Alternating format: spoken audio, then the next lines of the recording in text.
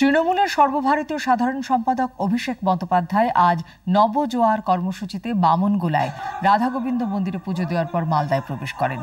একশো সাতাশ বছর বয়সী বৃদ্ধা বিমলা সরকারের সঙ্গে দেখা করেন।